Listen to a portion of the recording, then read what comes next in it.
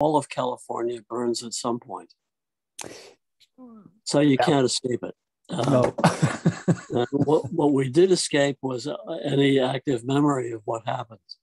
right, right, right, right, right. No, I do. I do remember, like years ago, reading an article saying that California would be the probably the better place to be during climate change.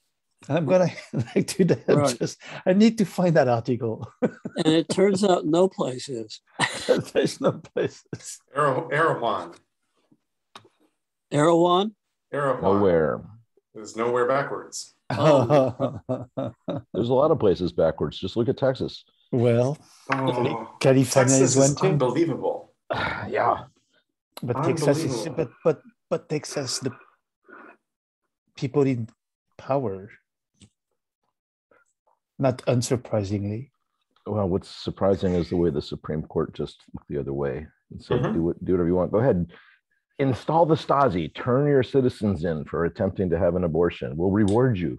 It's crazy. It, every every citizen has standing to sue anybody involved in an abortion. It's Except unbelievable. The Except the woman. Right. They can't sue the woman, but they can sue her husband if he gives her a ride or someone who tells her where to go. It's like uh, this is as I saw last night on Facebook. Someone said Texas, where the handmaiden's tale meets the Taliban. Mm-hmm. Well, that's a cheerful start to our call today. Yeah. I thought, I'd, hey, I, thought I'd pick a, I thought I'd pick an appropriate background for the mood. So hey. yes, very nice. Yeah, we were touching on where to go next. well, we ain't going to Texas, that's for sure. So not not to Texas. Not to Texas. Let no, them um, let them I drive. live in Texas, so I don't have a choice on that. Yeah, that's right. Well, Where in Texas you could move from Texas. Uh, I am in. Well, I say Dallas um, I'm in a, a, a, suburb near Lake uh, mm. called uh, the suburb's called the Colony, and the lake is Lake Lewisville. So. It's not. It's not like you need a green card. Uh, huh? It's not like you need a green card to move. Uh, no. I was born and bred in Dallas. um, have you seen? Have you watched uh, uh, Jason Roberts' uh, TEDx talk about starting our uh, Better Block? It's not, it rings a bell. Uh, let me post it uh, to the chat. Uh, he is, it's just a lovely, lovely talk. He's, he's so excited to tell the story that he's like jumping up and down. Um, and then he tells the story of being in uh, uh, Oak Creek uh, neighborhood of South Dallas and uh, deciding to blackmail himself by posting a flyer that says, hey, show up at this intersection on this date and time and see what's up. And uh, he then convinces some buddies to go turn that intersection into a cafe, basically an outdoor cafe, pretend that it's a nice intersection. They paint a bike lane in. Uh, a local nursery donates some potted trees, so they put those in to make sort of a bike lane and, and some fringe. They put they set up some outdoor tables with with uh, umbrellas. Uh, they serve coffee. Uh, and then they hang a big banner on the, on the brick wall of the empty warehouse that says Oak Creek Arts District.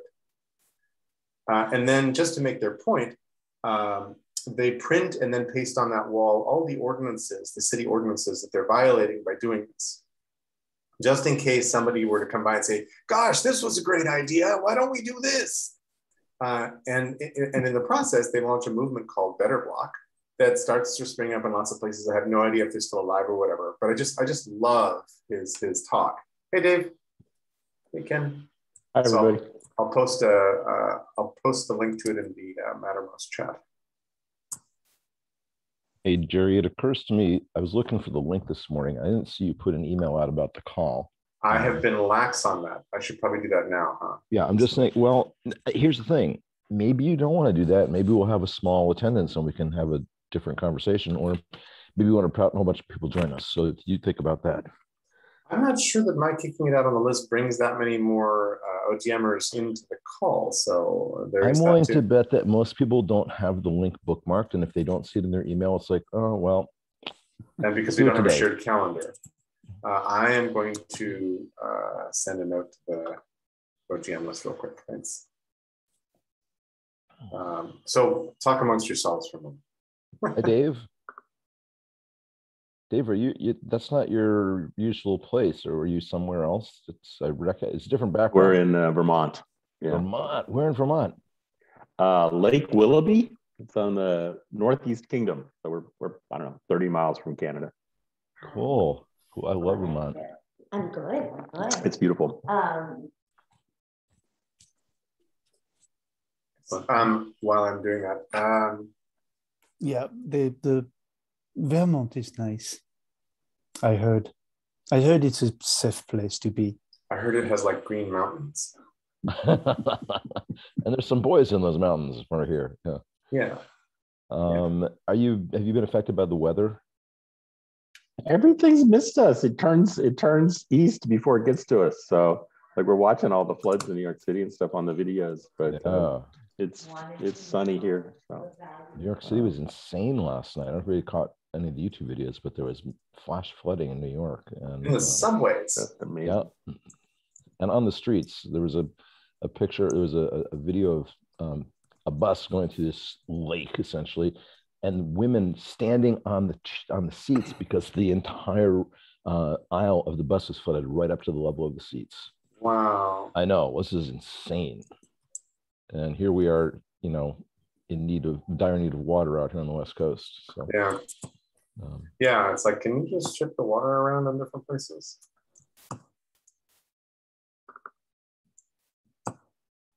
I'm having I'm having every time uh, very interesting conversations about the things, and I'm just wondering, am I am I, I might sound like a jerk or an asshole every time.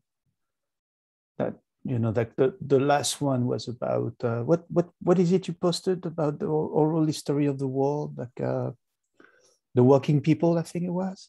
it's not an oral history of the world. It's an oral history of it of the people who came to be known as the Iroquois.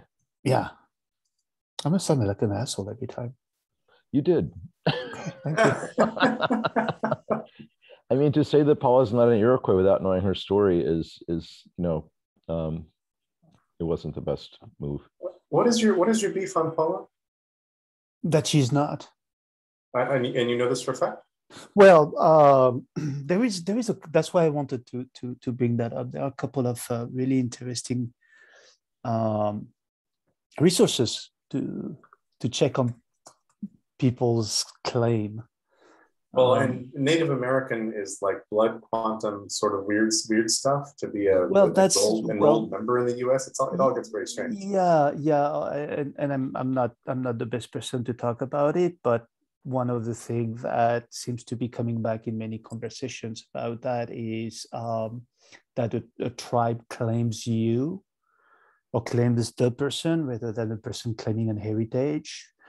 Um, it's it's really it's of course very difficult to to um, to address in in that. But there are a couple of resources. One is by uh, Jacqueline uh, Keeler, uh, who is a journalist, um, um, Native American journalist and author. And the other one is an old website that I've known for quite a very long time, and it's called uh, newagefraud.org. I can post that somewhere. And so you can type any person that claims to be Native American and you're not sure, and see what this what what these um, um, Native American researchers have done to see if that person's claim hold. The uh, website is New Age Frauds and Plastic Shamans. No, that one is New Age Fraud Singular.org. That's where I am, and at the top of the page it's NAFPS, New Age Frauds and Plastic Shamans. I'm just reading from the website. Oh, and Plastic Shamans, yes. Yeah. That's the one. That's the one. Yeah. And so there is something about about And her. and and who is behind this website? Uh, some some Native American. Uh, One it is says, it says who we are. uh, So who we are doesn't list any names, which is very suspicious to me. No, well, it should not be very suspicious to you. Okay. Uh, It, I'm- it I- just needs any- it just needs it just needs a little bit of research. It's all forum. uh-huh. Um, the people that were there for it, it, it's the whole the whole issue about uh, what's called pretendians right? And and and how they acquire so much fame is such a sensitive topic that I, you know, I don't feel very comfortable getting into.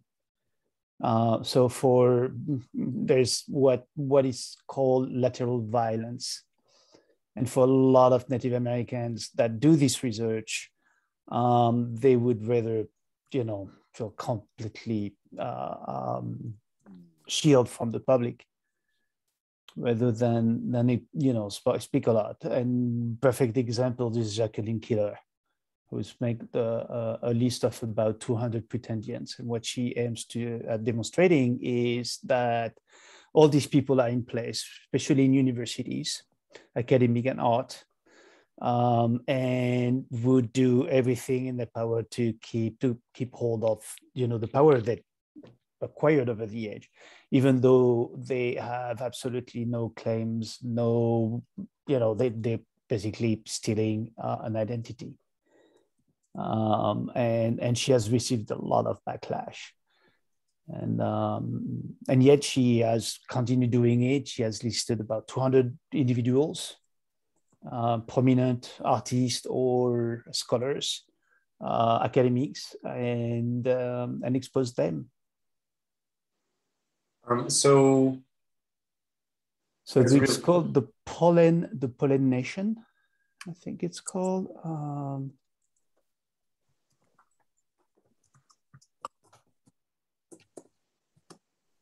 thepollination.com uh, newsletter. Uh, no, that's no, that, that seems seems like it's not it. I'll post it. Maybe it's org. Pollen Nation magazine. Um, yeah, the Pollen Nation magazine. Thank you. Uh, so it's just Pollen Nation magazine, no the in front of it. Uh, commentary by leading indigenous thinkers and writers, critiques and analysis, etc. Uh, so and this the, their tagline is dedicated to fighting the invisibility of Native people.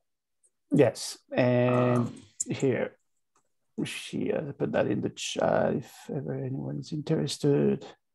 I'm, I'm, I'm yeah, adding it to the Mattermost chat since we, we seem to be oh, losing, okay. we seem right. to be losing uh, message discipline chat on right. Mattermost right. so that it's persistent. So let's try to do that.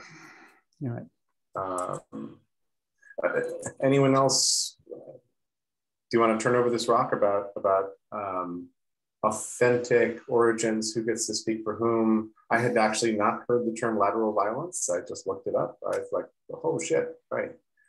Um, lateral violence uh, appears to be when you attack who those people who should be your peers on your side instead of the other side, kind of thing. Yeah, yeah, um, and, and it's and again it is it is super difficult because of all you know the the, the history of um, native americans and how um, states and governments have done everything in their power to destroy the social fabric of these people.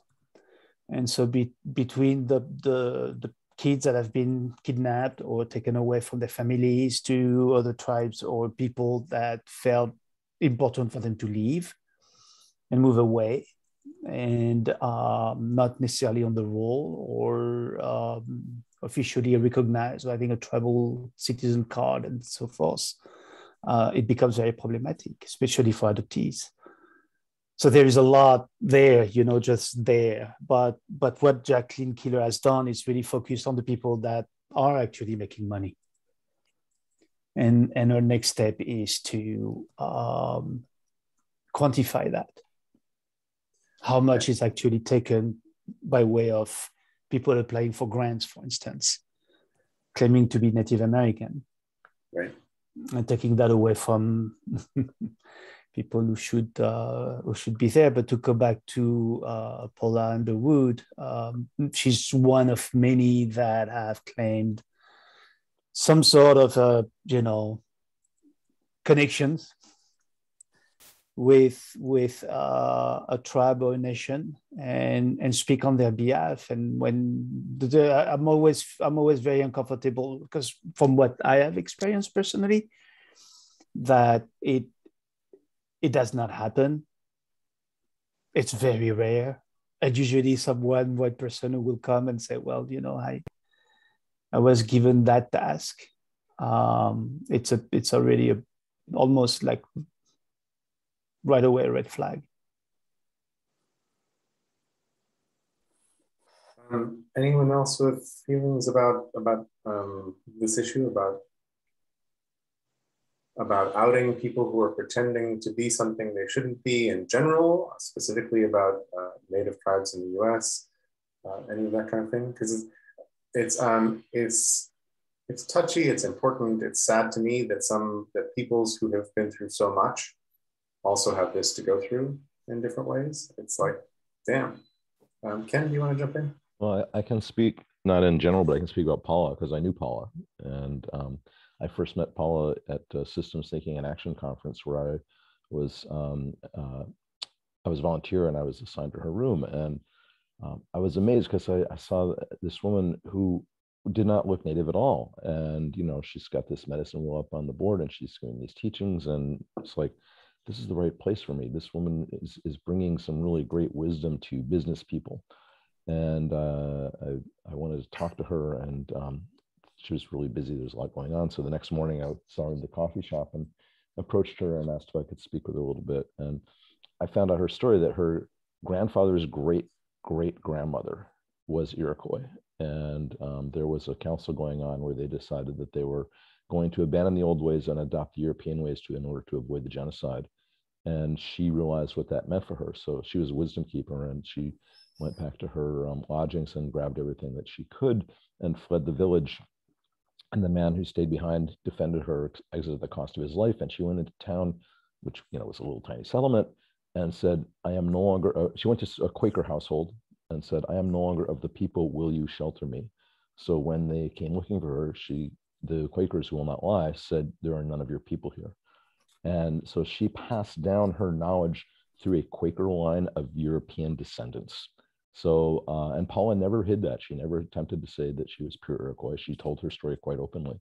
Um, and uh, when I met her, you know, I told her my personal story of when I played cowboys and Indians as a kid. I was more interested in being the Indian than the cowboy, and that I had this. There's there's no native blood anywhere in my ancestry, at least according to 23andMe, until we go back to Neanderthal times, right? And and she said, well, you know, there are two heritages. You have your your biological heritage and your spiritual heritage. And um, you're clearly, you know, you have a spiritual heritage that's connected to Turtle Island. And then I, I think of Malidoma Somé, who I also did some work with. And he said, you know, he he had met more indigenous people in Europe and North America than he ever met in Africa. And his theory is that when you kill the indigenous people, their souls re-inhabit the children uh, and grandchildren of, of the uh, genociders. Of the murderers? Of the murderers exactly. Wow. Wow. and i just i love that that thought. So um, i got great benefit from paula's teachings. And i know paula was was um, ostracized by many people who were native american. Um, some embraced her and some said no you don't have the right to do this.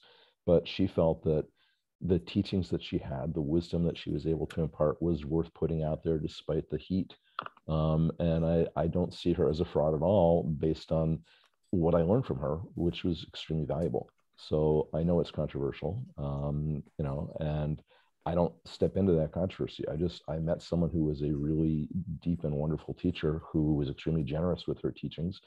Didn't um, you know? I don't think she was making. She was she was hardly rich. I, I, I she lived out in Fairfax, and she was not uh, you know she was fairly marginalized her whole life because she was a woman attempting to bring indigenous wisdom to the world and um, not exactly embraced as hey you know there's a televangelist let's send money to her right mm-hmm. so I, will i'll leave the whole controversy of whether she was or was not iroquois i mean uh, grandfather's great great grandmother okay that's back a lot of generations but to me it's not so much the blood purity as what are you carrying forward and what are you able to impart to people that's useful so that's where i uh, I come down.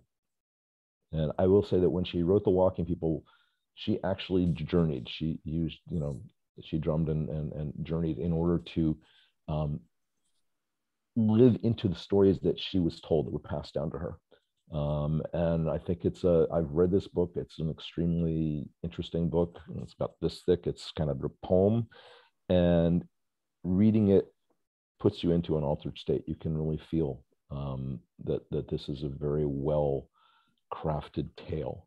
And I know somebody who is another native person who said this is only about 30% of what anybody of what any um, tribe would know so she's got one third of a tribe's wisdom it's not comprehensive but it's far more comprehensive than than what most uh, modern people have in terms of understanding you know history and how to be in the world and this topic also slips right into cultural appropriation mm-hmm. and and into hey uh, so one of my beliefs is that we used to understand how to be together in community on the commons awesome. And we used to know that in indigenous tribes around the world who uh, europeans have systematically tried to wipe out. And i guess everybody else tried too but europeans like systematically went around the world trying to stamp out the people the culture the language the native dress the everything. Um, and so, how are we to reintegrate that knowledge? How are we to work with it in productive ways unless some of the people who are not Indigenous try really hard to bring it back, to revive it, to fit it with what's going on, to promote the change, to do whatever, whatever it might be. And then how do we do that work without misappropriating uh, what it all is? Hank, great to see you. You're in the red. yes, I am. Only virtually, though. Excellent. Um, but anyone have uh, anyone have thoughts about cultural appropriation and the right the right way to walk through walk this path? Well, it's interesting who we individually actually identify with. Uh, I find myself uh, at times identifying with all the DNA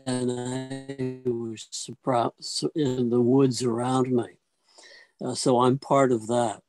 Uh, sometimes I think I'm connected to the cave painters and the Neanderthals. Uh, and I, my guess is that we all have these kinds of mixed identities now that, that span all over the place.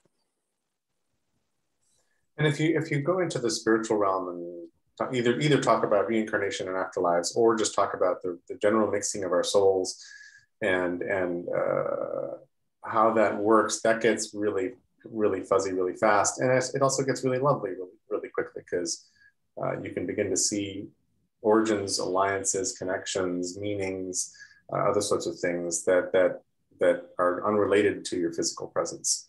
Um, which is interesting. And then, you know, uh, and then just a separate note, uh, all of uh, sort of the Africans and Eastern Europeans and others that are sort of coming back to Europe and trying and, and like Europe is anti-immigrant and so forth. I'm like, dude, this is called just desserts. Like you were the colonists. They speak your language only because your ancestors showed up and wiped out theirs and made them be like your people. So now they like work.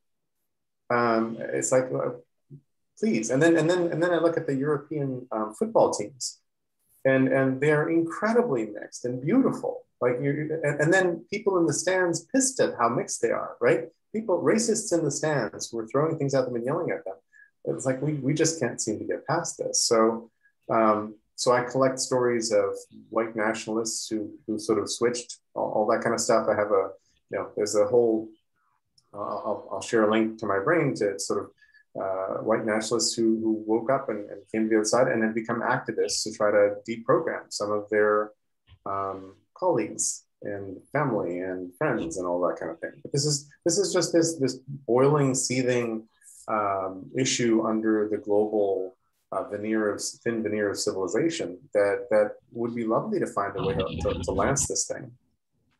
Um, I, I don't know if this is true. I saw it on Facebook, so it's a meme. So, take so it has to be true. it must be true, exactly. So uh, it said there is one holiday that is celebrated more than anything else on Earth, and it is celebrated by 135 nations. And it is guess what? Independence Day from Britain. Um, the most oh, popular so holiday on the planet. So it so must good. be true because it aligns with my values.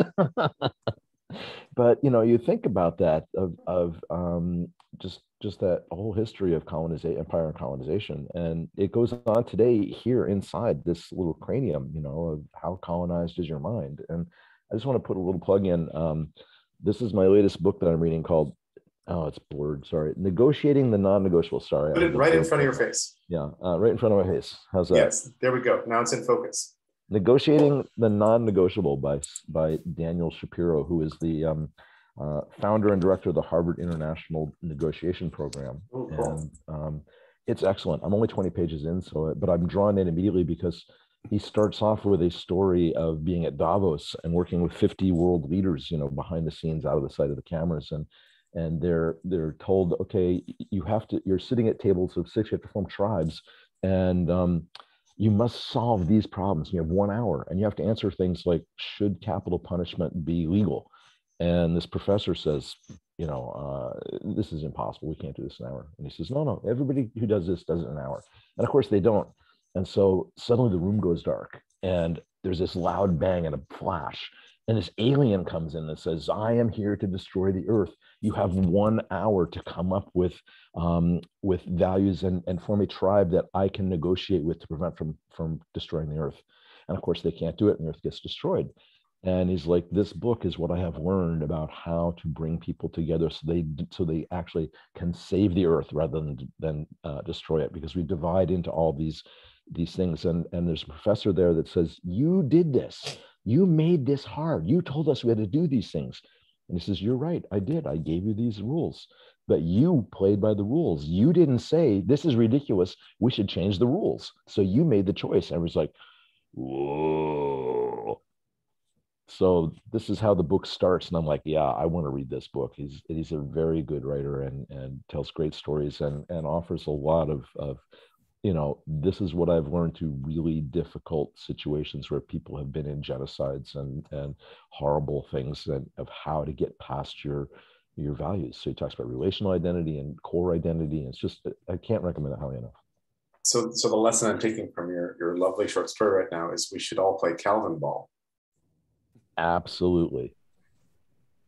We need to play. Does everybody Calvin know ball. what Mark, do you know what Calvin ball is? Is You know this Cal- Calvin sorry. and Hobbes? Yes. the- okay, Yes. so Cal, Calvin and Hobbes, Calvin and Hobbes played this game called Calvin Ball, where they made the rules up as they went along. So if Hobbes didn't like what Calvin, he said that you're violating this rule, and I'm going to make this rule, and Calvin would do the same thing. And so it's like Calvin Ball is is it's it's delightful anarchy. it's it's a fun game. It's an infinite game, one could say. It is It's it's infinite game. always it's always the other, but not me. You know. Yeah, yeah. It's Um, just like the uh, what is it? What is it called? The the do do what I said, not what I do. Yeah, yeah, exactly. Uh, Dave, Empire. yeah, Dave. Yeah, sorry, I was going back one step here. I, I don't, I don't want to. Game rules are also interesting. The NF, the NFL does that a lot too. So they play ga- Calvin ball when they need to. But uh, I, I was thinking back on the um, we visited Monticello, you know, with the kids probably I don't know 20 years ago, and got a tour of the the, the beautiful house and what Jefferson had done to it and things like that. And then went again, I don't know, maybe 10 years ago when they had introduced the slave tour, and um, they actually had you know they would take you out to like the you know the place where the slave huts had been. And and the old white guy would give a little bit of explanation about what was going what had happened.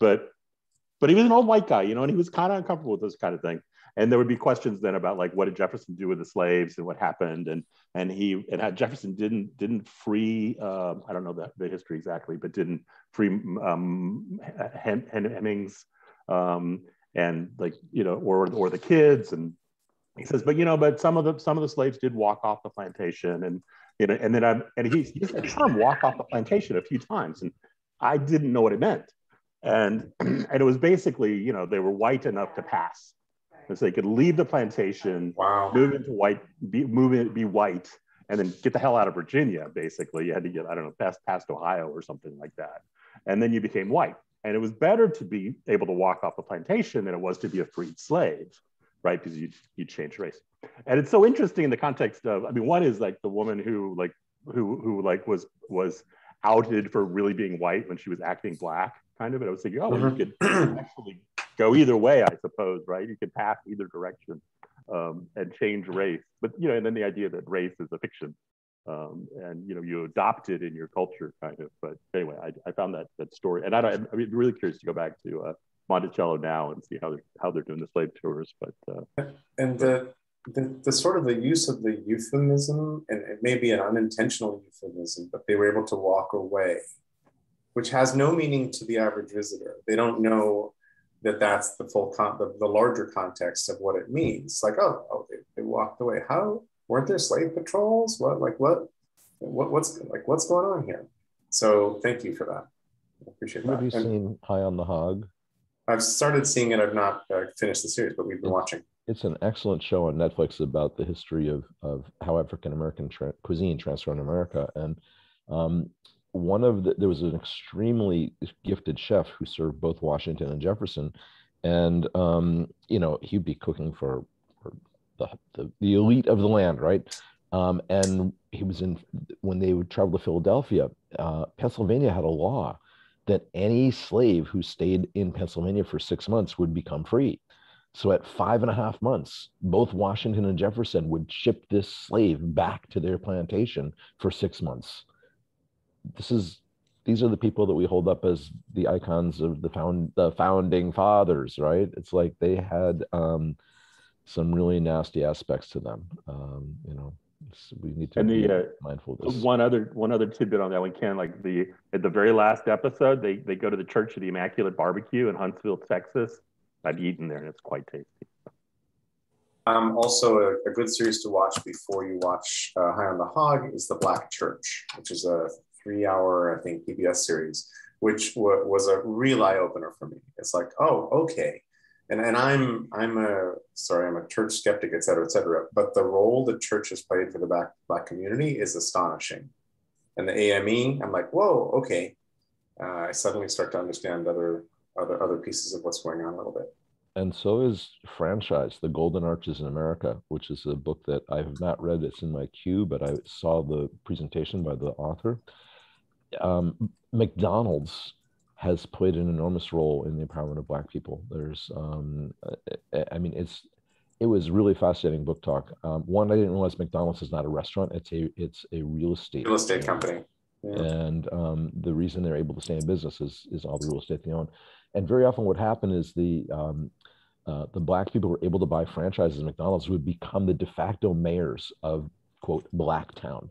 Um, they'd be the ones who'd broker deals, and and they're kind of like godfathers in a way. Um, so it it opened up huge economic opportunities for for black people, and um, also um, gave them enormous power inside their communities. So if you have a chance to check that out, I'll, I recommend it. I heard the woman who wrote it is is extremely um, uh, good researcher and, and really did her homework on this. I went to hear her speak right before the pandemic. So last one of the last things I saw was she gave a book talk at the Jewish Community Center here in San Francisco.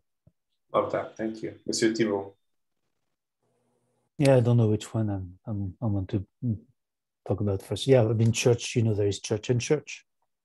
There is church, the church of the people, and church, church of those guy upstairs. right. So the, the, the thing that goes right now in Haiti, for instance, is a lot of on the, on the, on the place that has uh, been hit by the earthquake, um, the last one. Um, they, they, I think they calculated that about, or they recorded that about anywhere between 200 and 300 churches had been hit by the earthquake. It's not a big area where, you know, most of the damage was, but two to 300 Mhm. churches. That's a lot. Um, and, and, but to, to go back to um, the, the issue of, of, of pretending and, and taking another people's identity, I think a lot of what some people like, uh, uh, what was what was his guy, Carlos Castaneda. That's another one who um, fictionized the story and maybe you know, um, and and great books too, great books too. But at the end, you just feel like cheated. So, what is the need of claiming to be someone when you can actually be that someone? I don't know, without pretending to be Native American or to have met this wizard somewhere in uh, Mexico or Yucatan or whatever. Um, it's it's it's a bit sad, you know, to to to say the least. But um, um, my dear friend Ken, I'm sorry, but if you want, you can check the all the research that they've done on Pola on newage.org and um, and you'll see that her great great great great great great whatever uh, Uh-huh. is actually the daughter of an Indian fighter. That's make it even sadder. But I'm, I'm, I'm, let's move on.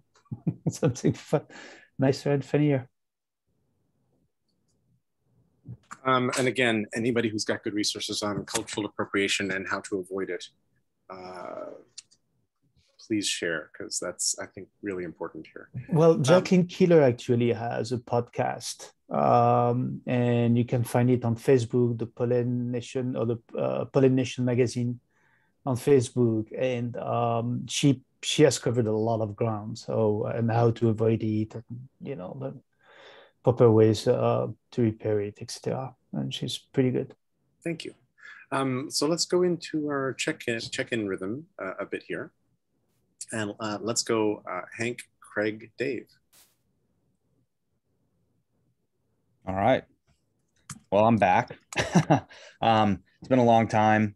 Great to see many familiar faces and a few new ones. Um, just for a sense about how long it's been, Ken, I did not know that you shaved. So there we go. Um, but good to see everybody. Um, it's interesting that you guys were started you know that I kind of came in as you were talking about um, cultural appropriation and all that stuff. I think recently I excuse me um, I've been like really trying to read a ton this year and I've been successful at it. Uh, and the last book I literally just finished it was Bury My Heart at Wounded Knee. It was the first, um, I know it's like on everybody's list, right? Um, and I've really engaged in a lot of conversations about it, or tried to at least. And uh, you know, it doesn't. I haven't really grappled with that specific conversation, but it's one that's in my head, right? Of like, how do you revisit all these um, cultures that were in, well, specifically America, right? In the in the case that I was looking at, or and you know, the Americas, I would say, without kind of taking that position of, you know, universality of like, oh, um, you know, the subtle racism that can be associated with, you know, oh, it is my job as a, you know, white individual or as an American to to step down and put you in this place of of power because, you know, I took it from you. And um, it's it's a kind of a weird line um, to to toe, and one I think that that I've been grappling with personally um, in in some conversations, right? And um, so that that's kind of where where my head has been at. Um, I mean, you know, and uh, otherwise, um, it's been nice.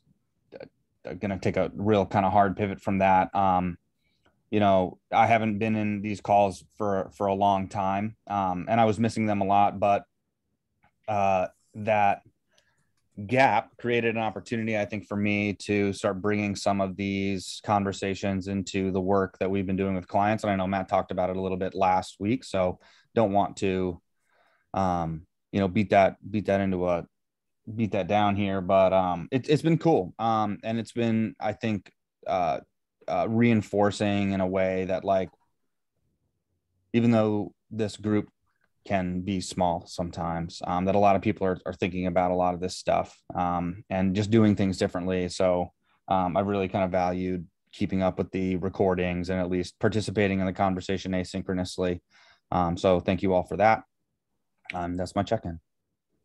Thanks, Hank. Um, much appreciated. Uh, let's go, Craig, Dave, Michael.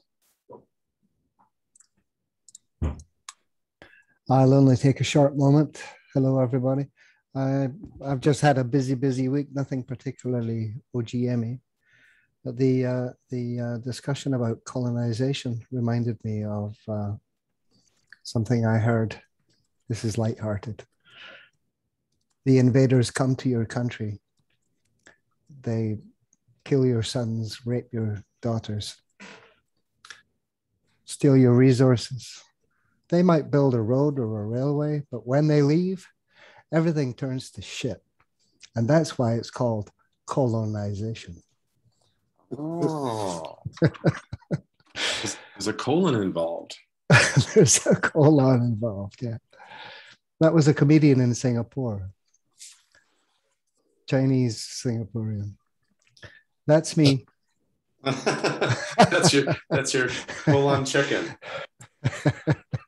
well, thank you. I haven't heard that one. Um, let's go, Dave, Michael, Stacy. Uh, yeah, I don't know if it's changed very much since last week. I'm still focusing on um, kind of how to make the global regeneration collab useful. Uh, the trying to develop this idea of what it means to do peer-to-peer support for regeneration makers. Um, and trying to figure out if we're actually on a path of success or not. What's it, you know, like if you're trying to get on an exponential curve, how do you know you're on one versus just like flat, you know, things like that. And maybe uh, some theories that like we've been holding lots and lots and lots of Zoom meetings. And and I think recently the character has changed a little bit. So people are kind of asking for support around projects they want to do or ways they want to make income and things like that. And I, I'm, you know, there's a theory that is that all of the Zoom meetings that we've done so far have created enough kind of trust and awareness that people are now able to kind of ask for more support and other people are willing to give it. So like a hopeful kind of uh, intuition, but I'm not exactly sure if it's true or not. Uh, but um, you know, it's like kind of this open question around what what what is useful to do to help people be more successful at the work that they want to do? And then a, a, leap of faith that the work that they want to do is actually going to contribute to a you know a better world out in the future. So um, that's the, the puzzle of the moment. And i'm still trying to figure out how to, to capture that in google ads too so you know, there's the technical nice um, thanks dave uh, michael stacy ken and michael if you're off planet right now. Uh, we'll come back to you. No, I was just trying to uh, get to my microphone. Can you guys hear me okay? We hear you just fine. Are you are you okay. performing the spacewalk right now? I am actually in a car. Um, oh, good. Driving. Um, but uh, it's very similar. Uh, yeah, yeah. But um, interesting from a check-in point of view. I am uh, headed up to rendezvous with Vincent Arena and uh, Wendy McLean, who I don't know if, whether she's been in uh, OGM meetings before, but also overlaps a number of our communities. But we're uh, getting some face-to-face time for the first time. Um, so it's always interesting when uh, when the the OGM community bleeds into to meet space. Um, Absolutely. Please say hi for us. I, I will do that. Um, and, and, Wendy McLean's been on our chats. I'm not sure she's been in any of the Thursday calls, but she's around. Yeah, yeah. I, I gave her the um, the Zoom link for today's call. I can't really scroll through to see who all is on the call, but she um, she may be with us in the future. Cool. Um, it's uh, it's the wake of the flood here, um, and uh, it's there's sadly you know the uh, the remnants of of Hurricane Ida um, hit New York last night, and it really was kind of unprecedented in terms of the amount of water on the the streets of Brooklyn. It was sort of an ankle deep rushing river. Um, there were some fatalities here. Um, you know, people who drowned in their apartments or drowned in their cars. So it's oh. nature, nature doing what nature does. And um, uh, but it's a it's a bright and sunny day today um, with still some road closures and um, yeah, that's that's my check-in. Thanks, Michael, and and have a great like face-to-face meetings. I remember those um, fondly. Stacy Ken Bentley. Yeah, well, I was late today also because coming home from upstate, there was so much flooding. It took me an hour to get a half a mile. And then I just had to like go around the world to get home. So that was kind of shocking, like going past, you know, the shopping center and it literally was a pond. So that, that, and then I have to say, coming into this conversation was really hard. It was very, very heavy for me. Um, but to just bring it back to like where we are in our own lives i've been watching this show um on netflix um, and it's the mexican experience and they happen to be working in a restaurant and there's like a chef ramsay type guy and i'm thinking I, i'm guessing you all know who chef ramsay is hell's kitchen you know and i'm just thinking we sit and we watch this behavior and then we rush to get to the restaurant. And why are we supporting people that treat other people like that, regardless of what demographic they're treating like that? just, you know, um, again, I always think in terms of TV, and I just have these like fantasies of interviewing Chef Ramsay about his horrible behavior. Um, and last night I was with friends of mine upstate, um, Garrison, beautiful home. It was beautiful to watch the rain from a full, you know, windows all over.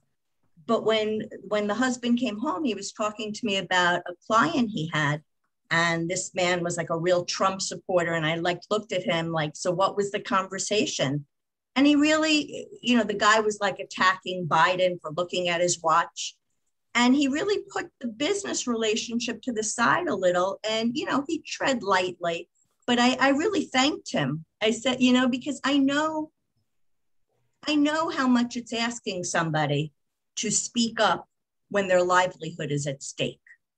So I really do appreciate when people do that. But as a culture, if we did it together without like attacking, without like swinging the pendulum, you're all bad, you're all good, it could be so much more effective. Like, I don't think Chef Ramsay, Ramsay's a bad guy. I mean, I don't know if he's a bad guy, but it's not okay to talk to people like that. I lived in a relationship where I got spoken to like that. It's not okay. And I just, I think that's something we have to deal with collectively. And that's my check in. um, Stacy, thank you. Um, and I think being gentle in how we go about is a good thing. Um, dealing with these gently and and and our, our conversation was kind of heavy at the start when you stepped in, Stacy, partly because Mark launched us into a topic that I picked up on because I thought it was like interesting and important. And, um, and he had replied pretty sharply to a, a, comment of Ken's on a Facebook forum. Um, and that kind of got us sort of moving into this topic. So in, in that way. And, and I think like uh, handling one another more gently would be a good thing. Um, and, and, inquire within and sort of opening up the spirit of collective inquiry where it's appropriate and where we can to try to figure out what you know what are these kinds of issues and unpacking them. Um, but thank you. Uh, and I didn't know about Gentefied at all. Had never Gentified. heard of the series. Uh, well, in, in, Spanish, it's gente. Oh. It's people. it's, gente means people, and mm-hmm. so and so Gentefied is a pun on gentrified, right? Uh, right. But I, I hadn't heard of this series at all. Like like totally a mystery to me, and I'm like, damn, looks great. I love it. I just started. I, I really love it. More to watch, more more of our life hours to absorb on other people on on flat panels. It's like perfect. Um, sorry, um, Julian. Thanks for joining. Uh, so and Craig, good to see you. Thanks. Uh, so uh, let's go. Um, Ken, yeah, exactly. Uh, Ken, Mark, and Julian. So Stacy had to put a link in there uh, in the chat for some good chef behavior. I don't know how many people know um, Chef Jose Andres, uh, but he is um, the the chef I most admire in the world today. This man um, is an amazing humanitarian, and right now he's in Haiti. Um, he goes into disaster areas and works with existing restaurant crews and restaurants and local uh, producers to not just crank out meals ready to eat like the like FEMA does, but actual gourmet meals that really nourish people. And um, he's on the ground every time. And I read an article, a profile about him in the New York Times a while ago, where he is an incredible organizer. Uh, he's not just a chef, and and he really, you know, uh, there there are people who are in awe of him in the emergency preparedness and emergency response community of the way this guy is able to bring people together. So. Um, there are antidotes to the Ramsays out there. And so just throw that out.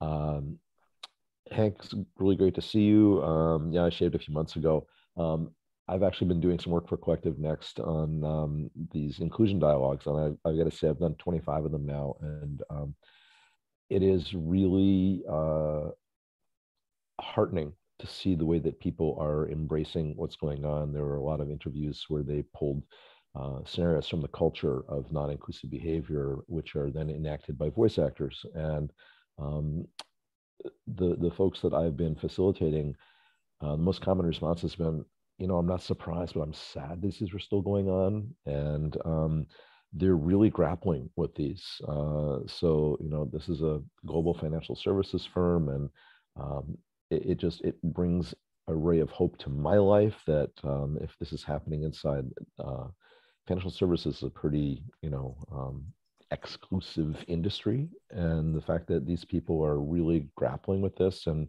um, making sincere efforts to be more inclusive, um, it, it's it lights me up in the sense that maybe this can spread to some other sectors of the of the economy and really make uh, a difference. And be an antidote for all of the the hatred and all, all, the the vitriol and pathology that I'm seeing on the on the white on the right wing that's going on. Um, so you know, uh, I watched this panel conversation the other day, and Kim Stanley Robinson was one of the the speakers, and he said, if you think of humanity as kind of an estuary flow, um, you know, we're all we're all coming down and headed for this larger ocean, and um, renew, on, renew. Uh, and oh, wrong movie. Sorry. On the top is is froth and chop, and the media reports on the froth and chop, but that ignores the deeper tides and currents of people who are working really hard to make the world better. And I just I love that image. Um, you know that that I'm interested in the deeper currents and the tides. Um, and there are counter tides and counter currents, but they're, they're you know, uh, Martin Luther King, the moral arc, of the universe is long and it bends towards justice. And Gandhi's talk about no matter how uh, terrible a tyrant is, you know, sooner or later the tyrants are overthrown and deposed and they, they have their moments and then they disappear and then they pop back up again later. So I have to, to do this for my own heart, my own soul, um, to focus on that and find ways to, um, to find an appropriate focus of goodness in the world or i go i, I get into despair and i go crazy so i'm just grateful that um, thanks to uh, collective next and and matt to be invited in and as part of this work. It's it's been a, a really gratifying part of my life. That's that's what's going on with me right now. So thank you. And please hank pass my uh, appreciation on to matt. I know he's super busy so. Thanks kim thanks. I really appreciate that. Uh, let's go Mark, Julian, Doug, and, and I leave at the top of the hour. Oh, okay. Uh, Mark, Julian, Doug, Vincent, and then. Um, my one of my well, actually, my very first real job um, was um, with a, a company that was pioneering um, research-based models um, to support people into making decisions. And that involved a lot of uh, data gathering um, so market research um, but also running um, trials and testing.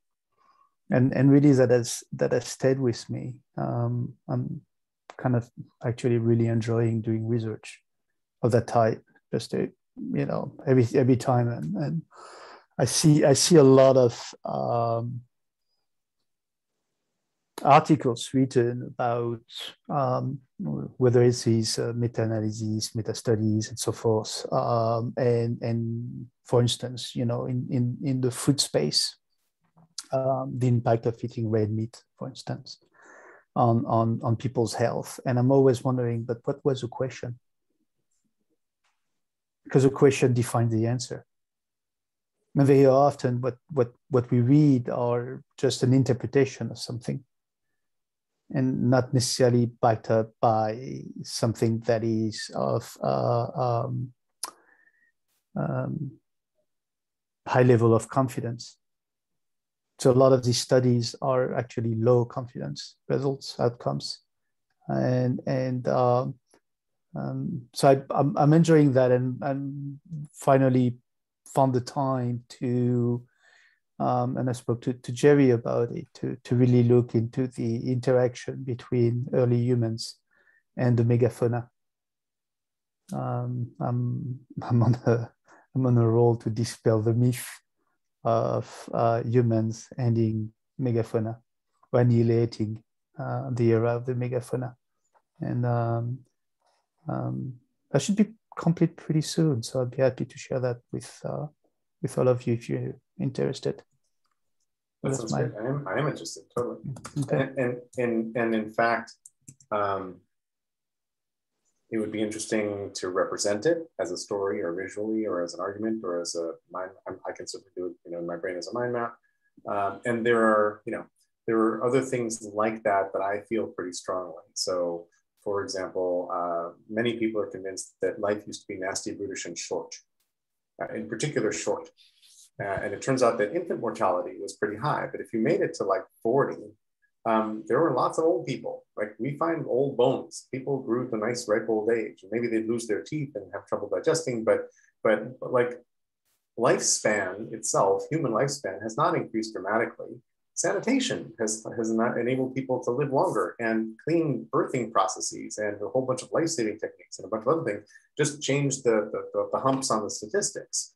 Um, but, it, but it's not that people, you know, 3,000 years ago lived to be 30 uh, that, that, that, that's weird. And so, and so how do you tell that story? What do you do? And I think each of us probably has a couple things like that where we run contrary to a generalized accepted conventional wisdom. And wouldn't it be great if only everybody knew this thing, right? Um, and then at some point we slide over into like, did you know that everybody's actually lizard people in control of the of the world? And then that that's like a bridge too far, I think. um, to mix metaphors. I don't know that the lizard people and the bridge too far necessarily cross culturally. um, but anyway, just just interested in how we represent those things and how we tell again how we tell these stories. Bentley. Yeah, I just wanted to say one of the uh, potential ways to to share that in a useful way, because a lot of those topics would be um, contentious, um, is the Gullybot project. So when we talk about visualizing those, um, if people want to take their meaningful expression, and if it's going to be a contentious issue, uh, schedule some time and try and put it in the Gullybot format and see if that helps people understand the nuances that uh, and the reason why they, they may have to change their thinking on that. So just want to mention that. Um, thank you. And Do you have a uh, link? To I'll- uh, uh, feel- but we'll put a link in the chats, Yeah. um, which is easy. And um, also, I'd love for you to explain what you mean a little bit more. But also, there's a weird audio artifact when you're speaking. We're getting like a, a little digital rush after Oh. every time you say something, so it's not coming through clean. Let me change. I think your flux capacitor is overheating or something. Uh, I'm using I'm using All right. Suto- Sutori at the moment. is that better?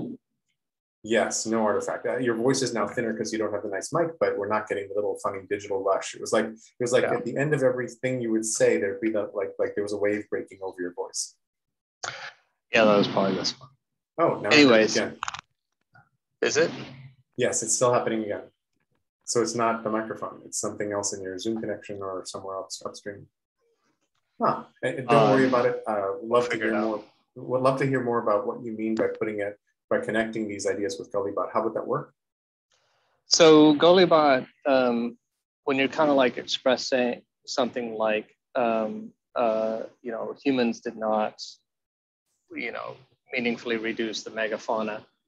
Um, that that it's great to express that in a story, but also to have some simple way for everyone to kind of look at the facts um, and to and the I say pros and cons, but the reasons for and against kind of believing that as a, as a main fact. Uh, Golibot is, is a hierarchy, uh, well, it's a character, but it's a hierarchy of those facts and the reasons and showing how they add up to the main score of what Golibot believes about it. And then if people disagree with what Golibot believes, Golibot, they can then talk to Golibot, add those facts to it. And it's kind of a community project of, of doing fact-based reasoning to come to a conclusion on a, on a fact like that. Um, so that that just sounds like one of the good examples. It's not some of the things that the project doesn't work with is like, oh, what should we do about climate change? But, Mhm. but if you're saying we should do this, then then Golibot could have the discussion, or that something did happen in the past. That's a good example. Super interesting. Thanks, Bentley. Sure. Um, and let's go. Um, we have a Julian, Doug, Vincent, me. So, Mark, with respect to your dialogue about questions and answers, just remember the answer is 42. Uh, and a I'm, zero uh, and a zero at the end for 20 depending on you know how you feel in the morning uh, I've had a real up and down week. On Monday afternoon, I had a chat with my advisors about the Computer Graphics History Project, and they agreed that it should be reformulated to cover not just ACM SIGGRAPH, but all computer graphics organizations. Uh, this is something that's always bothered me, is kind of leaving out a good chunk of history. So for the last couple of days, I've been up to my elbows in Unity reformulating all of this stuff, which is joyful to be getting work done again. Um, but with the down of dealing with a traumatized kitty who managed to get himself into a bad situation and earned himself a day at the vet. But uh, he Wow. seems to be comfortable now. So,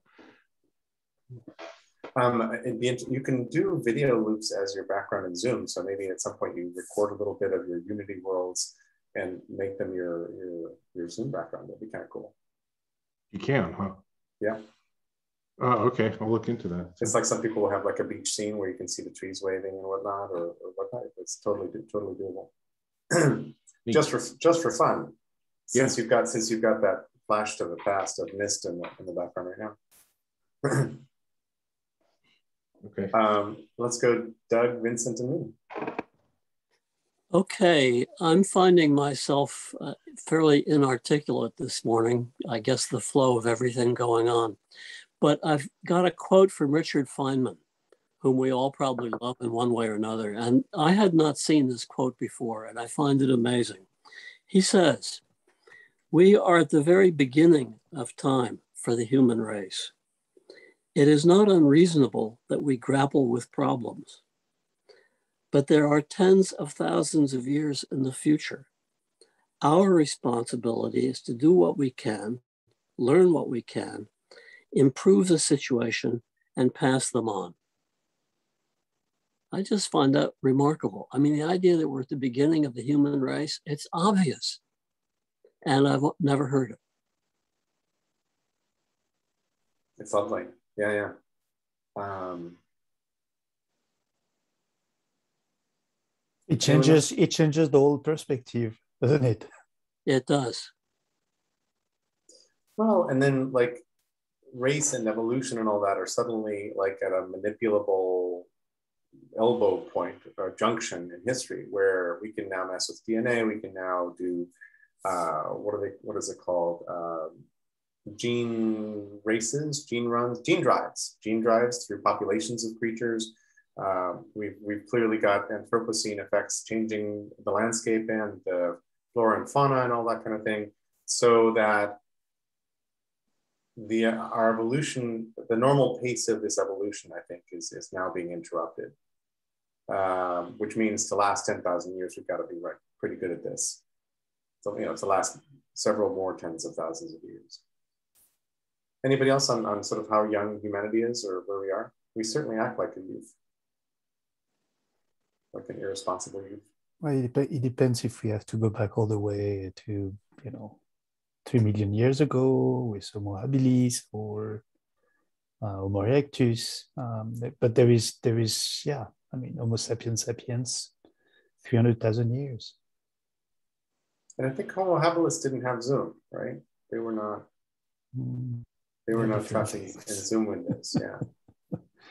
um. Anyway, They- and they were interacting you know in a way that was much more manageable Yeah. yeah, exactly. Um, thanks, Doug. And I'm also a big fan of, of Dick Feynman. He's like pretty damn brilliant. um, uh, Vincent, and then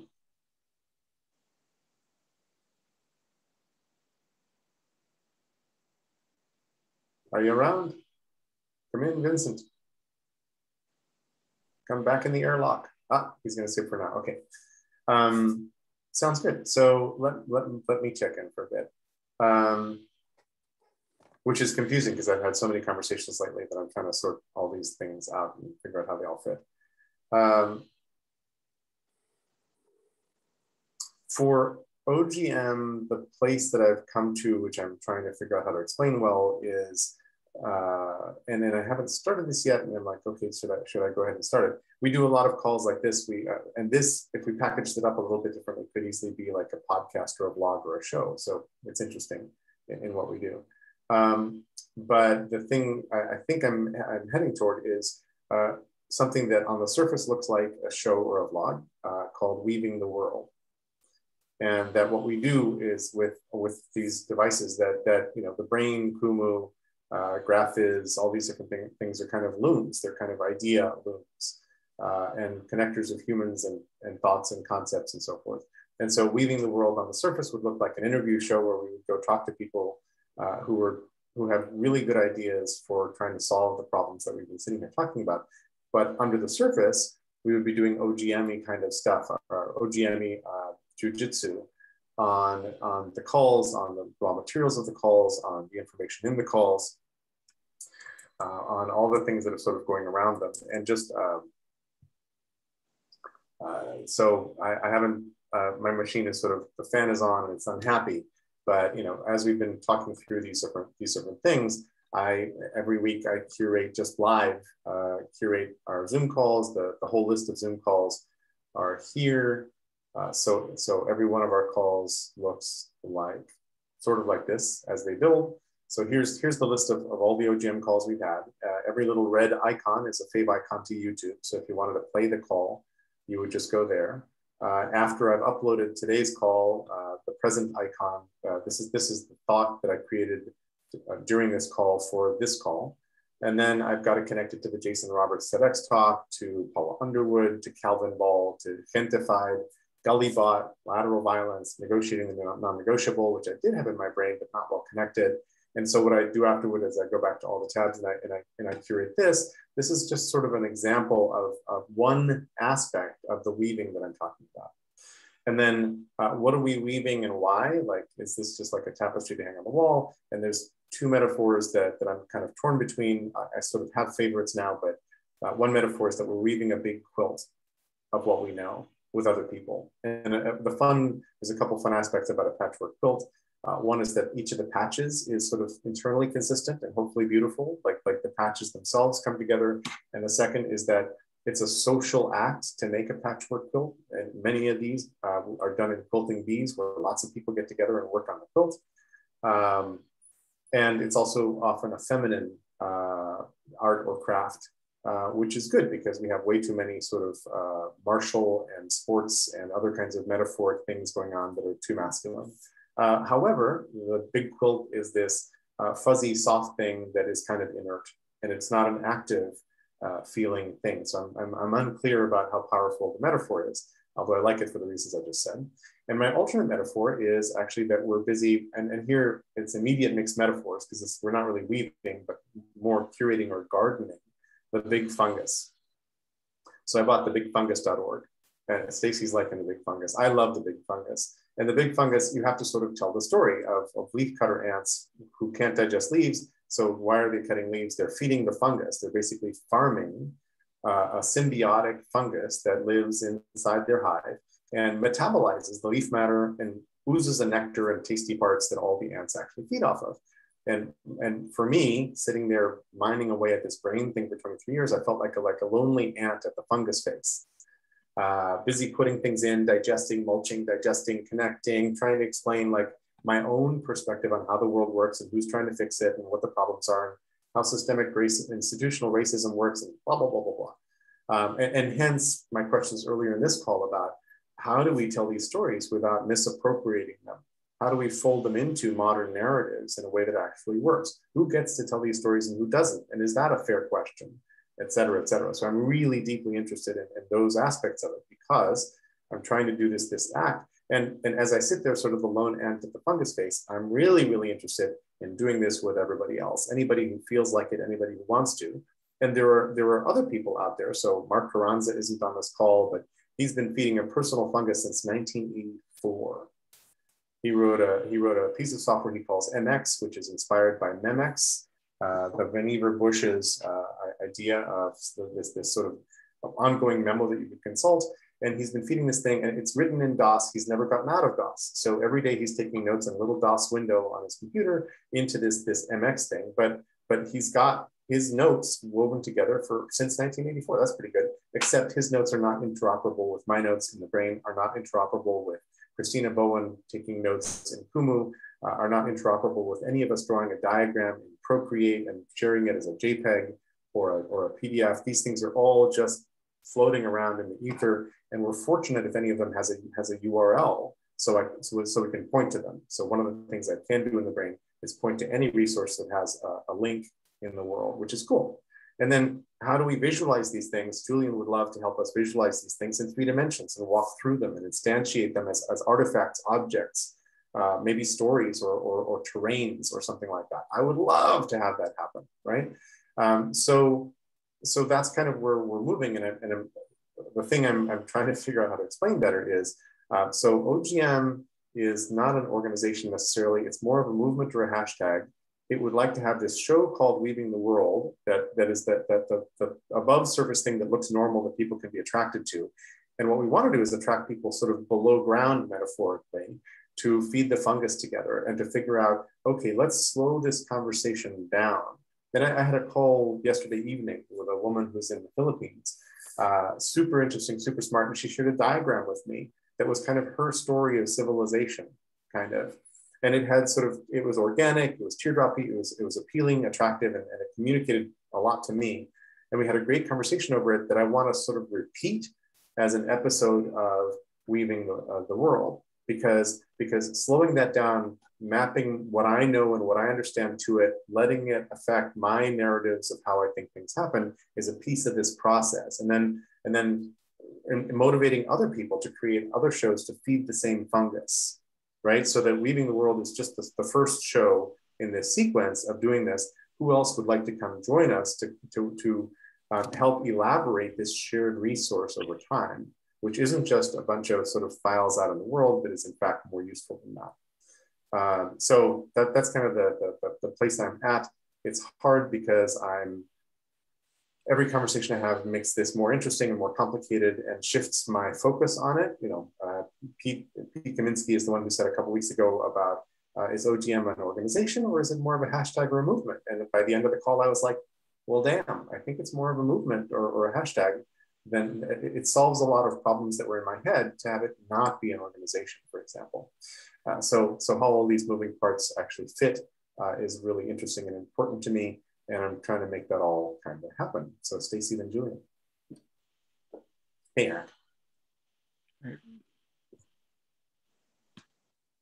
You are muted still, Stacy. Are you, are you having a hard time finding us to unmute? Yes. Okay, I got it. Sorry. Um, I just wanted to share with you uh, why I like the fungus because I was thinking about this last night. It's both natural and magical, which brings the feminine back in in a way that doesn't have the power, the negative power dynamics. And I also think it's appealing to a younger generation as opposed to weaving, you know, and it's, it's also like making poop jokes. It's like what do you mean the big fungus right? It's kind of it's kind of memorable and funny. And then when once you sort of get inside the story you're like i love this. Like ants do what? So so thank you. And it just feels very androgynous. Um, the other thing i want to say is um, again to go back to the idea that i've been bringing up of the game show. So when i heard ken talking and he mentioned that wonderful chef the first thing i thought of wouldn't it be a great competition if that chef went to six different places and the challenge was on those six different peoples to replicate what he does? That's the kind of challenges I'm talking about. So it's weaving, but it's also feeding the fungus and watching it grow at the same time. And and by by the metaphor of putting mulching leaves into the fungus and having it ooze nectar and tasty bits, the nectar and tasty bits, the, the nourishing parts for civilization are things like, hey, here's a story and here's maybe even sort of roughly instructions of what that chef does when he lands in a community um, so that they're easier for anybody else to try to replicate improve riff on do whatever so that so that things that work are more easily at hand and then applicable everywhere. And and nothing actually sticks at part of my amateur theory of, of change at a community level is that nothing actually sticks um, in organizations unless they appropriate it entirely uh, for themselves. They, they, like if you show up and say, we've done a study and we figured out the best practices for doing X, X, Y, and Z, and all you have to do is follow our instructions precisely, and all will be good, that almost never actually works. That, that, that, that, that like breaks all the time. But when people sort of can appropriate them and make them their own, that works a lot because then they've made it theirs, they're invested, they, they, they, you know, they figured out how it, how it adapts to their situation on the ground, et cetera, et cetera. So, so there's this looseness about how to bring wisdom, uh, make wisdom available uh, in the world that's important, I think, that matters in, in how to do this. Um, Julian. Uh, just wanted to make sure. I went to the bigfungus.org and it's just an abstract pattern. It doesn't do anything yet, right? Is that correct? Uh, yes, there's just a, a, picture of woven basket and I, I'm busy writing text to put on it as a start. That is correct. It's a placeholder website. Uh, you're entirely correct. It, the, the fungus is just dry at this point. It's just like an empty cave nest that, that I need to plant some starter in. You mean it, it needs rain too? Yes, exactly, exactly. Um, well, let's, uh, Eric, do you want to check in? Yes. Uh, so I, I was just in the weaving lab. That's um, another similar group, remarkably similar group. They have weaving lab. Uh, yeah, Sweet. They're based, yeah, they're based in Amsterdam, and they're about network weaving and systems change. How about that? How about that? there was this guy talking about how he got burned out um, trying to create all the kinds of movements after the uh, the the Arab Spring, and he he created a lot of social change efforts. But he said, yeah, because I burned out, also it had a lot of effect on the rest of the movement. So for me, that was a really nice insight on well-being and how important it is to be able to also realize stuff into the world when I hear a huge group of people that actually are doing change in the world, agreeing to it and making it really important. Like they, they even put it in, in the center of what they do is well-being, universal well-being, they call it. So it's something like universal income. They call it universal well-being, you could say. So very inspiring. Um, and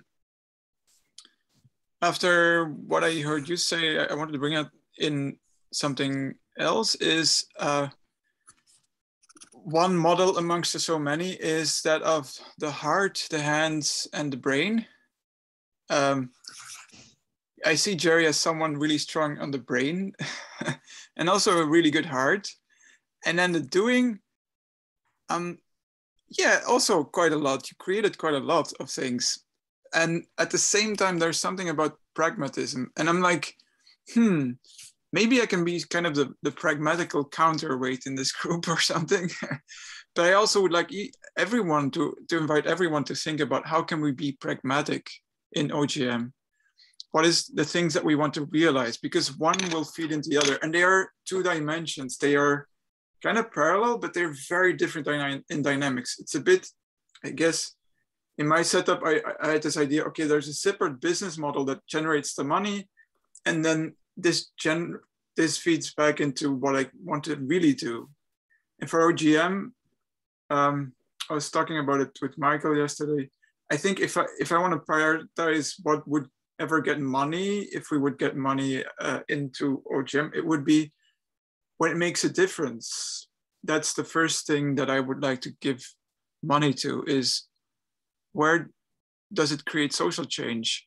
Because that's that's the best business case as well when we really as a group would create uh, some kind of social change that's really visible it, it proves our theory of change um, then that would be amazing. So i'm i'm really thinking about what is exactly the business model. And it i think it it also this it's like a separate track it's like a two track model. One is for the money and the pragmatics and building infrastructure and the other is what is this really about? Yeah, of course, knowledge, this kind of deeper quality, all the wisdom and insight, all the multitude of multitudes that can nourish so much. So I don't know if that makes sense, but uh, that's my two cents now. um, thanks, Eric. And, and that that uh, to me, it's sort of a polarity to manage. Um, and there's this, this, this, this thing called polarity management that says wherever you see kind of opposites, very often it's actually polarities to manage and go between. And in this case, it's like abstraction and concrete action, right? So, so, um, so if, if all we did was pragmatic stuff, we probably wouldn't see any big picture. We spend a ton of time in big picture and we don't do enough pragmatics. Um, so we need to balance that out. And part of what part of what I'm trying to figure out is how to describe um, projects that are bite-sized pieces uh, that uh, then describe a mosaic. Um, and I'll, so so I did five. Do I still have them open? I don't think I have them open. Uh, oh, I do. Oh, damn. Let me do a screen share for a second. Um, and just show. Uh, so imagine a multi-plane camera. So multi-plane camera is how you how they used to shoot cartoons. So you put the characters up here, you put their immediate background here, you put the mountains and the and the, the trees and the sun back here, and then you shoot and you move different parts of the scene to make motion and, and create animation. So forget the animation part, but but think of this as one layer of a, of a multi-layer mosaic. Uh, and so um, the, one of the layers is entities. So this is the view from OGM's mask. So this is OGM, where we have Weaving the World would be a show that's feeding the big fungus in the spirit of the generative commons. Here is the Massive Human Intelligence Project, which is Pete's project and Massive Wiki and the idea of context weavers. Massive Wiki is infrastructure for the big fungus, and so are other things. Uh, and then here is Vincent and Trove. Uh, here is Stacy's show game, uh, and a bunch. You know, here's Marc Antoine Parent and the the, uh, the Hyper Knowledge Project. Uh, if I go to participants, uh, this lays over the, the bubbles I just showed you. So these are the humans that are involved in the projects that are in the layer below, but these humans are also involved in other projects. So they're, they're separated from the bubbles, they're not in the bubbles because kind of there's these interesting links that it would be nice to see uh, between them. Uh, then this is kind of um, how we do what we do, which is like several of us use different kinds of tools, whether it's the brain or factor. Uh, we, we have conversations in Zooms like this one right now on Google Groups and Mattermost and Discourse. Uh, we then put some of our information on GitHub to share using tools like Massive Wiki and that there is an OGM Wiki. And what we'd like to have is a project dashboard that we can fund projects to go fill pieces of, of the mosaic I'm showing you right now. And then uh, entities, infrastructure, participants. Oh, uh, and then this is kind of the, the meat and potatoes layer of this diagram, which, uh, which is up on the left here, this is sort of the flow, the, the information torrent, uh, which is uh, which is dotted with little nuggets of juicy stuff in the in the flow. Uh, so these are all events happening over time, and some of these nuggets are videos or transcripts of the videos or clean links from the videos, like like uh, Bentley and Pete have been extracting uh, just the links from Zoom chats, for example. That's a small project. to which we would add metadata, and then we would store all this in a public place to create a shared memory then some of us, a few of us, are turning these into narratives or into maps, like I just showed you I'm doing with the brain. Uh, they, they might look like topic maps or argumentation or debate logic or animations. And then this squiggly line here is sort of what I'm calling the fungus face, because we're putting these out in the public view somewhere. They're not very well linked right now. And then this square, this rectangle here is basically magic happens here. Um, how do we get into an arena, a space, a conversation space, a trusted space where we can compare these narratives and maps, enrich them, link them, weave them together into the actual shared asset that we can then use to go back and do policy and do education and do science with. And then there's a line here because awkwardly on the far right here, everything is squishy and human and soft. And it's really about we, we're never going to get to this point of a shared memory or narratives or arguments or visualization if we don't actually sort of trust each other and if we can't sit down and have a good conversation. So this is about deep listening, bridging the cultural divide, creating safe spaces, and then allowing many different people with individual points of view manifest in whatever this set of tools are that appeals to them to play in this conversation and, and for all of us together to ask better questions and then figure out what experiments will answer our questions, what, what people should we invite in who might be able to help us elaborate those, those questions. And with luck, we don't end up with a big dog's breakfast of like all, you know, too many points of view and too many things to catch up with. But some of these start to overlap and crystallize, and we start getting some more integral points of view.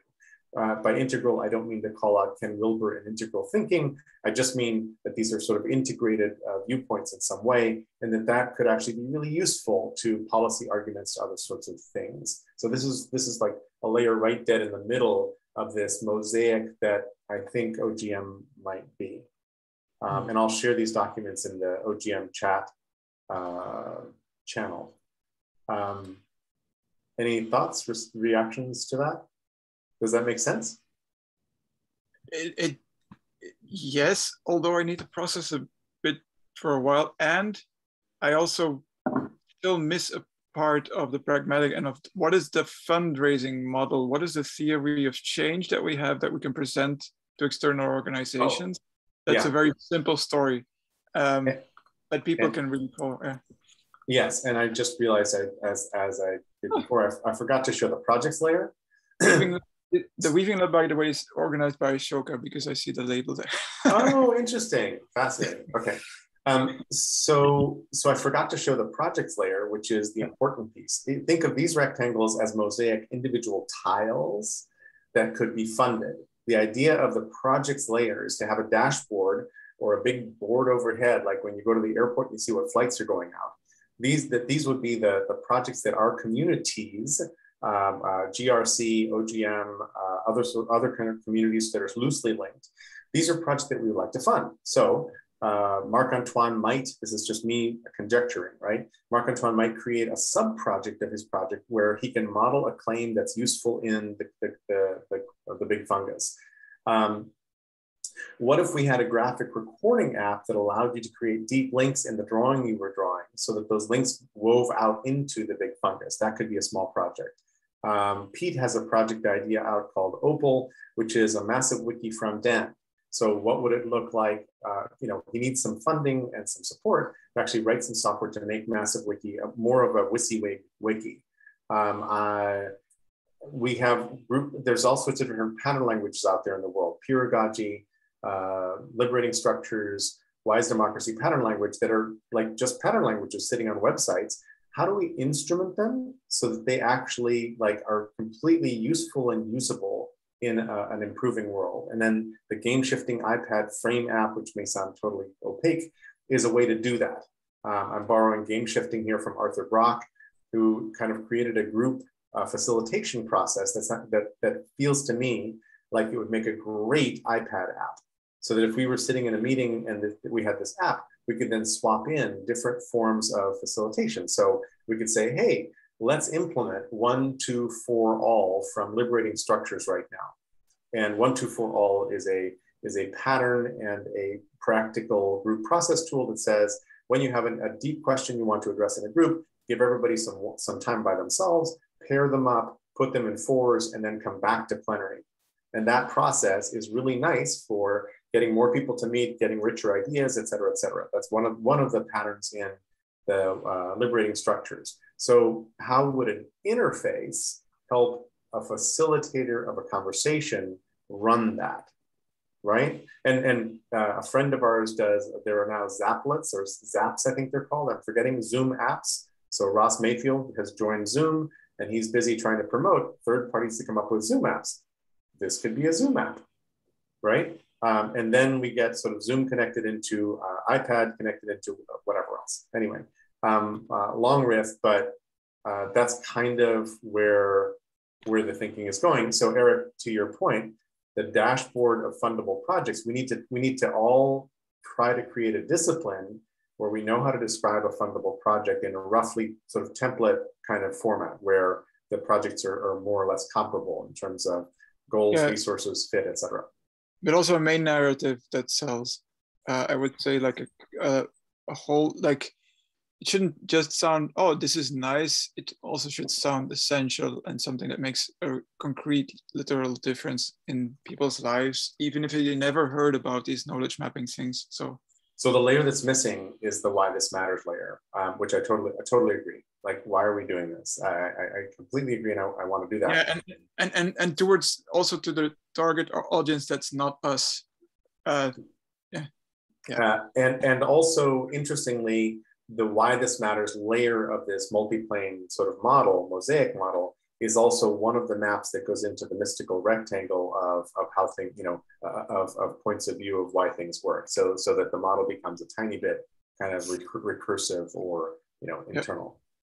Okay. Um, so so totally, I, I, need to I need to draw that layer and and, scan it. But that's kind of where things are headed. Any other so thoughts on there, that? I have a thought about the uh, sort of like why this matters or like questions about projects. Um, when I tend, when I was like applying for, you know, like startup funding, um, I had, I maintained a list of like all the questions that applications asked and then like kind of like a templated response. That way, when I, when I applied for like, you know, application number 37, I was like, oh, okay, I already have the answer to like five out of the six of these questions from like a past application. I could just copy and paste that, tweak it a little bit.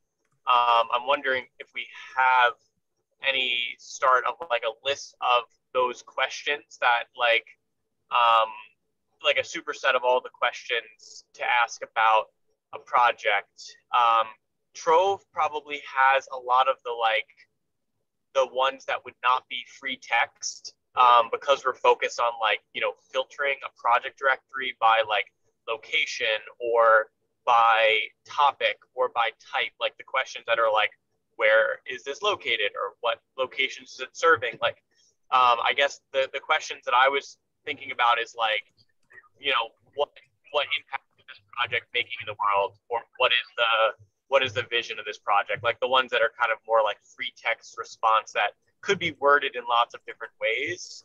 Um, and that you know that would probably once you find the project you know the questions that would really help you understand it and dive deeper in Um, so awesome. Uh, you raised a whole bunch of great things. One is that we don't have, but would love to have, uh, sort of a list of good questions and answers and how those things work. Um, we're at this moment not trying to sort of go apply for grants in different places. It's complicated, time consuming, and grants are often kind of limiting. But it's a terrific idea. And if somebody wanted to go do that, that would be great. Um, I'm sort of appealing to people like tabula rasa and say, hey, here's here's a, I'm not trying to fit into a grant request, but rather just just appeal to people who might have resources to help us out. But there's no reason not to have sort of a, a list of questions, good questions that people asked, and what are our best answers to each of the questions. That's phenomenal. And those questions can be from conversations as well as as grant uh, applications, right? Um, second thing is that uh, Vincent, uh, Pete has mentioned that, that you and I have a conversation in our future about the possible use of Trove as the dashboard for the projects, which makes a lot of sense to me. I'd love to, to do that. So let's let's like find find the time to talk uh, to figure out how that might work. Um, and Julian, you've got a question. Uh, well, not a question. I was thinking that this, what Vincent, what you're doing should have a more of a life cycle aspect to it. So not just a list of questions, but who asked the question uh, whether answers worked or not, because you know an organization is looking for a certain kind of answer, and um, it would be good to track what kind of answer you thought that they were looking for. So, so th this falls into more of what they call life cycle. So. And a little bit of sort of double loop or triple loop learning on the questions. Yeah. So we get some feedback. Sorry, Vincent, I think you were about to say something too. That's interesting. So, Julian, are you saying um, so obviously there's like you know having multiple answers to a question but are you saying like um, who who would be the one giving feedback on whether or not the question the answer for a specific question was uh, useful? Uh, well whoever was going through the process. Well it'd be super interesting to have like electrodes implanted in the grant uh, writer the grant recipient the grantor's brain which could then register which answers really, really like rang their bell and then have that feedback, you know, straight go straight into the data. That would be perfect, but I don't think that's going to be easily implemented. No, but I know that when I've applied for grants, there's been feedback coming from uh, the institution. Yeah, right? I think that feedback should be part of that that life cycle process of here's here was a question, here was what happened. There's also a simpler, really, really blunt instrument, which is, hey, this, this we won this grant, we lost this grant, and then wherever you win a grant, the, the questions and answers in that batch get promoted somehow. So because something in there was useful, but that's really blunt. Yeah, no, that makes that makes a lot of sense. Um, I think a really good start would be like the top five to 10 questions that are usually asked. And maybe, maybe, you know, one of, one of the things that I feel like a lot of projects need help with, that might be something that OGM or some of the related communities can, can assist is um, kind of helping projects just get started. Like, hey, in order to like give your project legs, like you know, uh, Pete came up with a list of things that like an organization should have. Um, for a project, you like probably should have a mission statement. You probably should have a vision statement, and like those things can be like tweaked and changed once you have a basic one. If you're applying for a specific grant, that's kind of like in a certain domain that you might have to like change it a little bit. Um, but I think just helping projects kind of get like 80% there in terms of like having a public facing description uh, of the project, a vision, mission statement, um, you know, and being able to like have that so that other people can share it. So it also like, you know, if you go on vacation for a month, going back to like Eric's point, is like letting us be the connectors for each other and not having everything exist in our brains, like getting it out into a public brain where we can say, hey, oh, you should talk to this person and check out their project. And like, you know, here's the like, you know, 80% there summary that might not be completely up to date, but it's close enough. Makes sense. Makes sense. Um, any other thoughts? Otherwise, we'll, we'll wrap today's call. Uh, Stacy, go ahead. Uh, so this is going a whole different direction. So I apologize okay. beforehand, but you know, I've started to think about OGM as almost like a social club in, in, in a positive way. And I just, you know, I also think about the whole, you know, solving for trust and how things would be different if people weren't concerned about how they would get their next meal or where they would eat. So, you know, if we just took what we needed, so, or, you know, we were working, we just took what we needed. Oh, I need, you know, I need a place to stay tonight.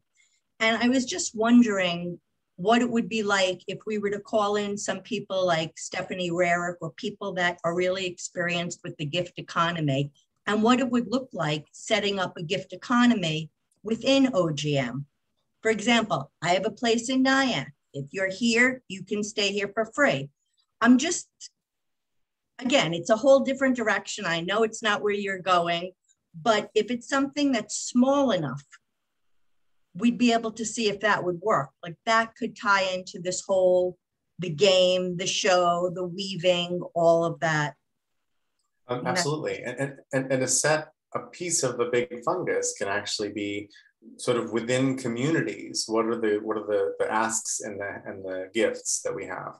You know, the asks and offers. Um, and I think that those need to obey sort of community trust boundaries so that you, you, you don't want to make your room available to like all of Craigslist, you, but you're willing to offer it to people in this community, which makes a lot of sense and sounds awesome. Well, and I would start with our community. I right. think we should actually start by doing it. Right. Um, okay, and then uh, so some piece of that is really simple to do, which is like just to put a query on the OGM list or on a channel that says, uh, you know, list something you've got that you can offer and something that you could really use, and you know, boom, that that that those things happen and, and they're pretty good. But the moment they get crowded uh, and the moment they age, they fall apart, right? So so they have they, they're they're easy to do quickly and they get um, a lot of fun things, but then they they they don't they don't age well. And uh, the Stephanie Rearick, what's the could you spell the last name of the woman who? Um, I think it's. I would have to look it up. Uh, you know, we have this this this incredible oracle that can tell us everything uh, the moment we try to I have her on my Facebook friends. So and I, and I love that we can even misspell things and, and the Oracle magically usually finds its way back to the right the right spelling. Um, so thank you. Any other thoughts on this before we wrap up the call? Julie. Uh, you used the phrase a piece of the fungus. Is there a word for that? A funglet? That doesn't that doesn't really roll off the tongue, does it? No. Makes me think of what happens to coffee when you leave it sitting out for a week. Oh, yeah, it gets a little fungly. Um, maybe a niblet. So I, I, like to think of sort of nuggets in, in different ways, um, but I'm thinking usually of nuggets of information. Uh, Stacy, you you sent that just to me, but uh, oh, will, sorry. That's okay. What uh, was it? So re Okay, I'll do it again. Yeah, perfect. Thank you, and I'll I'll find her online as well. Um, and yeah, and, and the whole, I mean, in what Eric was bringing into the conversation earlier, like why is this important? Uh, one of the things that's happening is that there's an there's a wholesale involuntary renegotiation of the social contract happening globally right now. That uh, the uh, Occupy movement, Arab Spring, Gilets jaunes, you, you name the movement around. It's a bunch of people saying, hey, my children's future looks much bleaker than my present, which is not that hot anyway. We need to break the system. We need to change the system. We need to figure things out. And pandemic has made that worse. And there have been sort of basic income experiments during the pandemic, even in the US. You could look at the rescue package that kept people in their homes and you know, you know, kept children fed as a form of UBI test. There's, there's, that's, that's not an unreasonable way to, of thinking about what just happened for 18 months.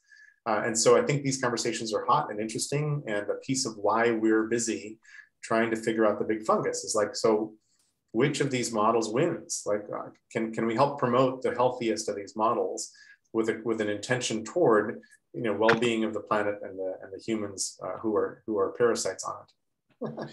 yeah. Uh, uh, do you know the term theory of change? Have you seen? Have you looked up about it? Read about it? Okay, because I, I think it would be nice for us to literally write it, uh, like from like th this is what we're gonna do, and we hope by reaching these people in this way that change will happen.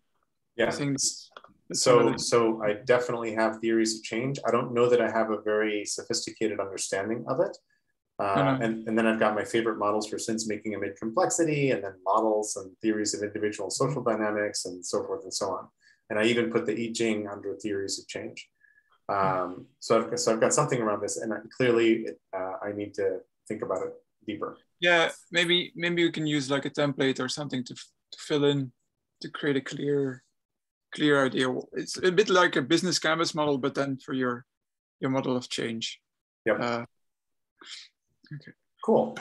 Um, thank you. And and sorry sorry to load so many things late into the call. Um, I, I was just like not organized to, to check in myself, but there's been a lot of stuff going on that I'm trying to sort out and make clearer. And this was really useful.